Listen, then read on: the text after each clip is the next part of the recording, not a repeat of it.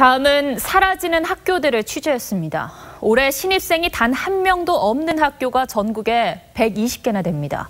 저출산과 도심 쏠림이 원인인데요. 이런 문제로 전국 읍면동의 40%는 30년 내 소멸할 위기에 놓였습니다. 이승훈 기자입니다.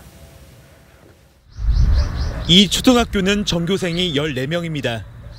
올해는 신입생이 한 명도 없습니다. 새 학기를 맞았지만 입학식도 못합니다. 아이들은 도심으로 떠났습니다. 마을의 연령이 올라가고 있고 중학교 이후에는 시내를 많이 가다 보니까 입학생 자체가 없는 것 같아요. 그 시골 인원이 줄어들면서.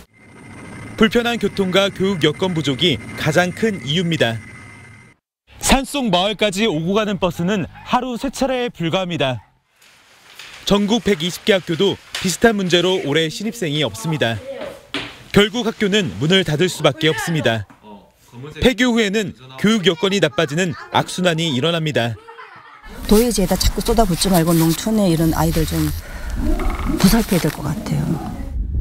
저출산과 도심 쏠림은 지역 소멸로 이어집니다. 전국 읍면동 3,492곳 가운데 40%는 30년 안에 사라진다는 연구 결과도 있습니다.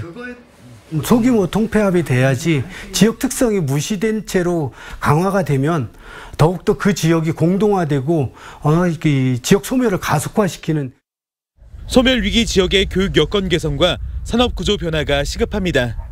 TV조선 이승훈입니다.